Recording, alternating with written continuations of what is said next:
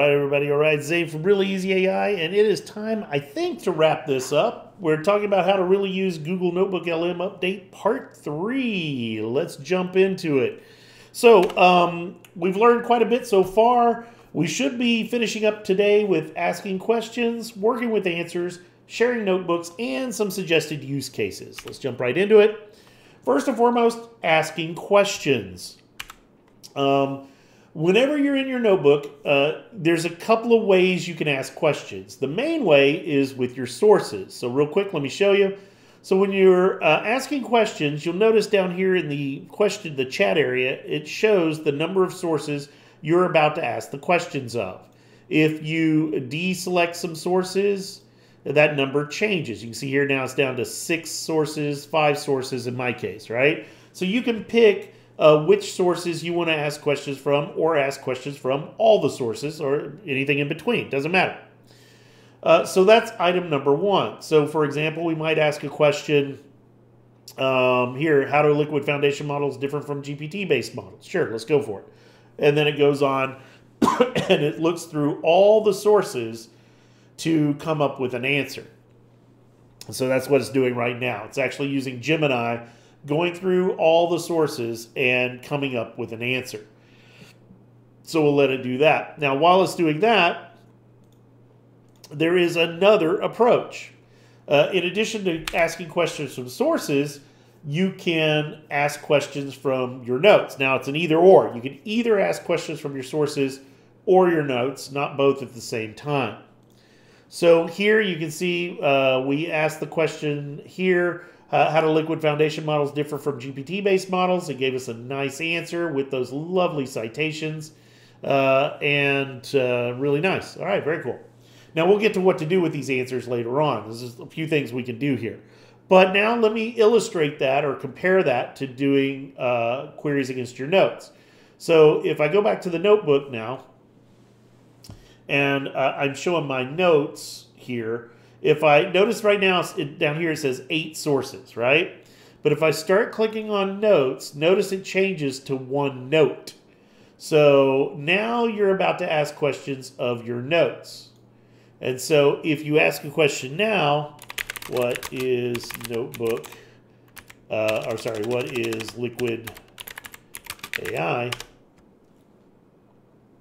You can see it's going to go through the notes, and if that information is in the notes, it's going to pull that information out of the notes as appropriate, uh, as opposed to your sources. So at any given time, you'll always know what you're asking questions of by looking here. You can see here it actually says, so here's the answer. Uh, what is Liquid AI? It's a spin-off, blah, blah, blah. Here's a breakdown.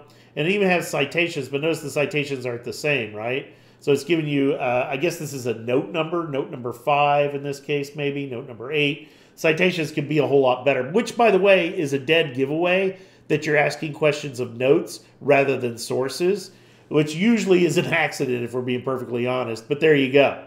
Um, so be aware of that.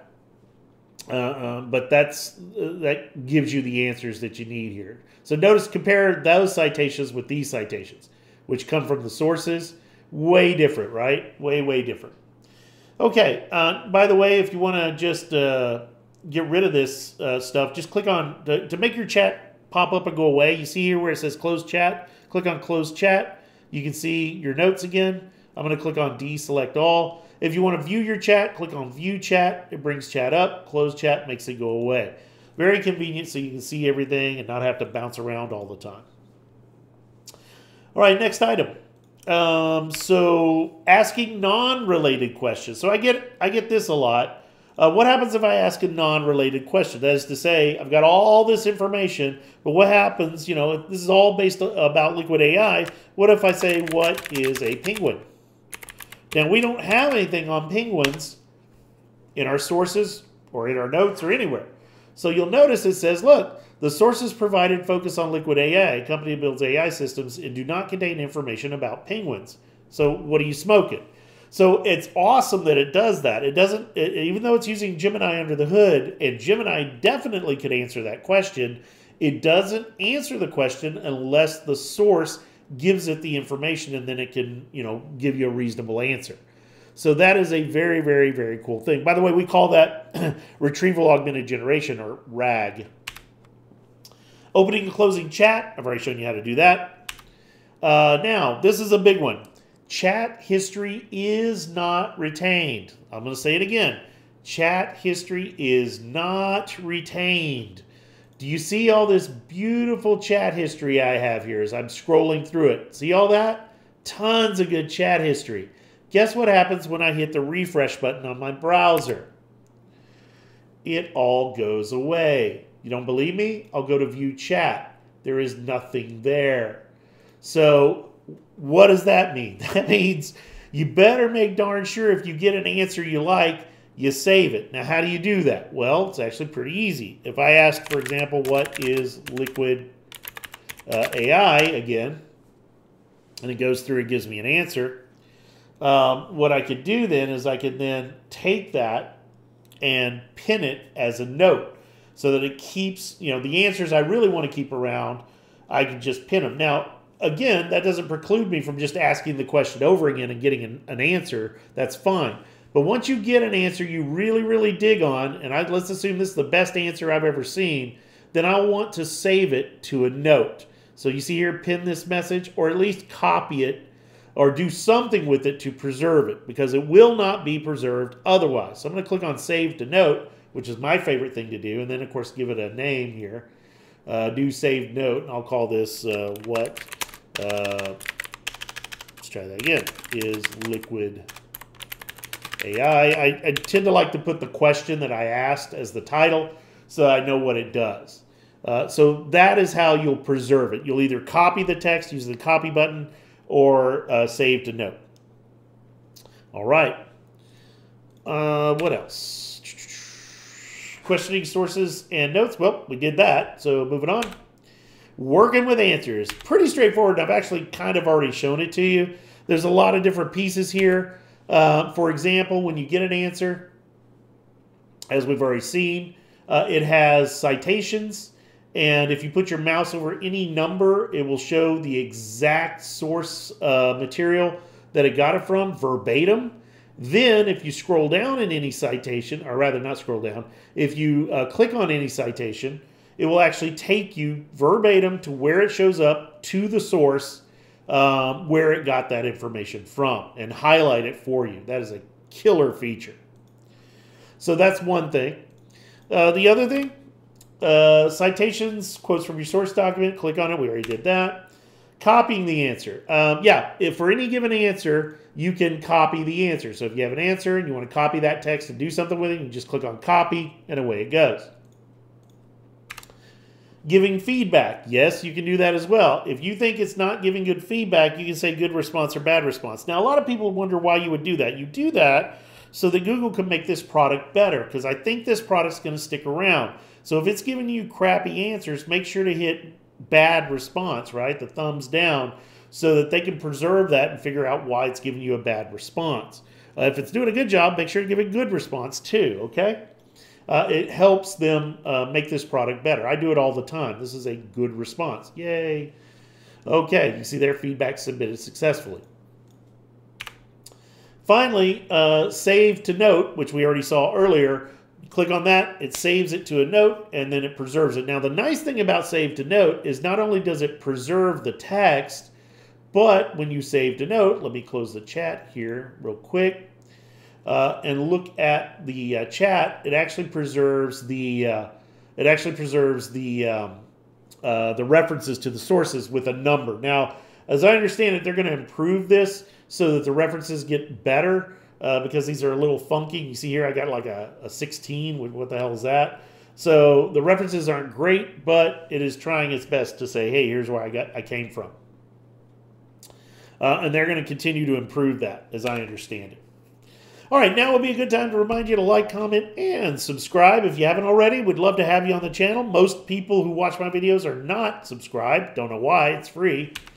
Um, and if you really love my content, consider becoming a member. $1.99 a month gets you loyalty badges, emojis, discounted merchandise. Right now, I only have one thing, a koozie, but I'm going to get more.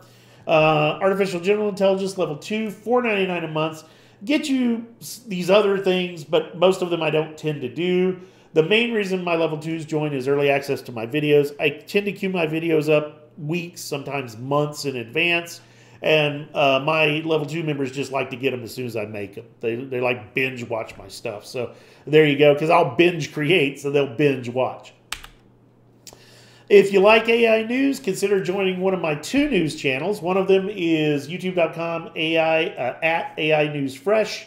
That's where I read the news uh, every morning, usually somewhere between 3, 1 and 3 in the morning. I'll read it Central Time uh, and then make it available by 7 a.m. Central Time. Uh, and I just go through a whole bunch of curated articles.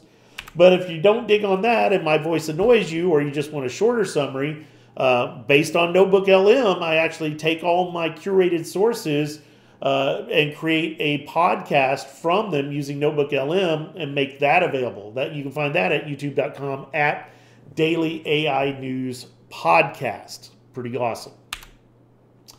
Okay, let's talk about sharing notebooks. Invariably, you're going to want to share your notebook. Uh, well, I got good news and bad news for you. Uh, first things first, you can share your notebook by opening a notebook and clicking on the share icon in the top right corner of your screen. You grant either viewer or editor access to other people. So you can literally you know, viewer access is what you normally give, but if you want someone else to be able to get in there and add, remove, and do stuff, uh, they need editor access. By the way, editor access also gives them the permissions to mess with the audio. Uh, here you can see a viewer has read-only access, an editor will be able to do all kinds of stuff. However, there are serious, serious sharing limitations you need to be aware of before it bites you in the butt. First and foremost, personal Gmail accounts can share a notebook with at most 50 other users with Gmail accounts and cannot share with Google Groups. Second, enterprise and EDU accounts, email at my company or email at EDU, um, can share a notebook with an unlimited number of individual users and Google Groups as long as they are within the same organization. Can't share outside their org, right? Uh, and by the way, uh, personal Gmail, you can't share with anybody who's not on Gmail. So keep that in mind. So major, major limitations. I'll show you that real quick, what that looks like. Uh, here, I'm in my notebook. I'm looking at my notebook. If I click on the share button, the upper right, you can see here, I have to add people, unfortunately. So I've got to add people, and then, uh, you know, obviously I want to notify those people and then I can email them. I know it has a copy link button here, and it does copy the link, but unless you add them, they'll never be able to load up the link. So they have to be added. They've restricted it on purpose that way. I'm not sure why. It wasn't that way last time. Last time you could do a public link and anybody could get to it, but uh, I guess it was abused. I don't know. Not sure why they did it, but that is the nature of that beast. So be careful. You're not going to be able to make a really awesome notebook and share it with everybody in the world. It's not going to happen today, unfortunately. All right, let's talk about use cases. Um, just some suggested use cases to kind of round out the uh, series here. Some things that you might want to think about as you're starting to use Notebook LM that I wanted to go through. First and foremost, uh, hands down, the best research tool I think I've come across in a long time.